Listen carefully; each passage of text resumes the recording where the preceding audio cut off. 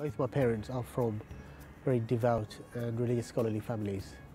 So both of them and their parents and grandparents are all religious scholars and, and very devout Muslims.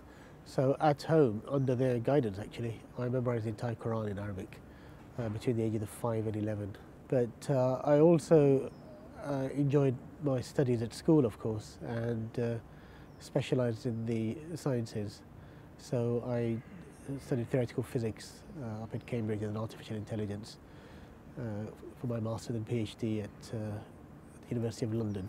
I began to campaign against terrorism and against Islamism, began to critique it uh, personally, internally, and publicly, in fact.